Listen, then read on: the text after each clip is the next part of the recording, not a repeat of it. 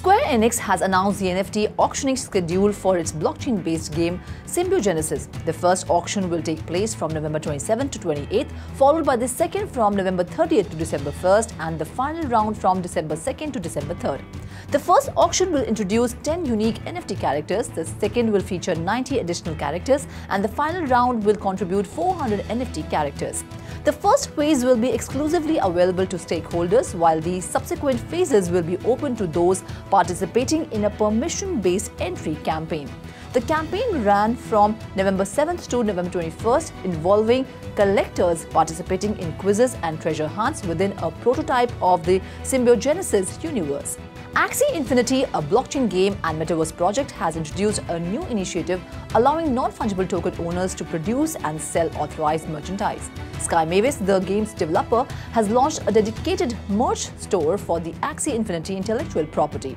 The move marks a significant step into user-generated content and commercialization. A select group of 4,877 Axie NFT holders processing Mystic and Origin Axies can now use their NFT characters as mascots for launching businesses such as cafes, comics, restaurants or toy collections.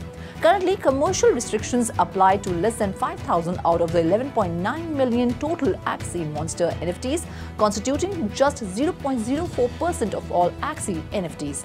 An official Axie Infinity merch store has been launched featuring Squishmallow style plush toys, a $300 figurine and branded apparel.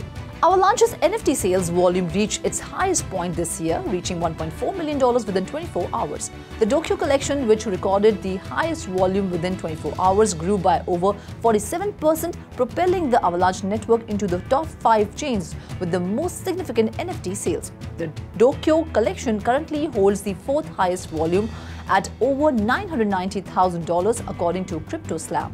The peak of the Avalanche NFT volume was on November 24th, marking the highest point in over three months. The total NFT volume for the month has surpassed $7 million, but the chart indicates a decline with the current volume around $33,000 as of the latest update. In the upcoming segment, we will update you about the following news. Pentagon anticipates the onslaught of lethal AI weapons in the future battlefields. California governor calls for statewide generative AI training. AI enhanced TB detection in Mozambique prisons sparks hope in the fight against the silent killer. Stay tuned for more updates.